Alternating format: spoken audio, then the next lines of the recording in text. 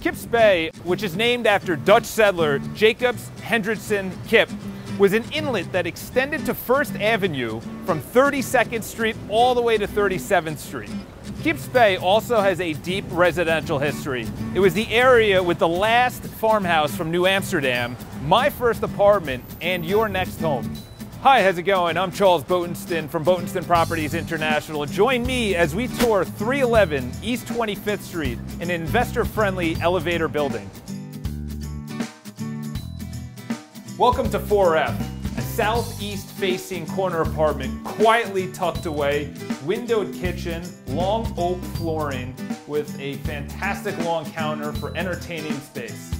Your bed, neatly tucked away between the kitchen and the living room, receives light and has its own privacy shades.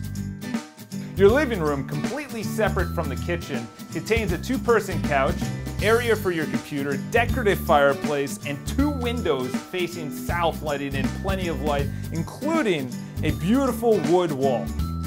Your bathroom is windowed, contains a huge mirror with Hollywood-style lighting, a stand-up shower, and marble throughout.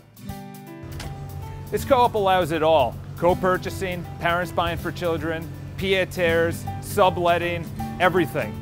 Hope you enjoyed this tour of 311 East 25th Street. Call me, Charles Botensten, at Botensten Properties International for your private tour. Have a great day.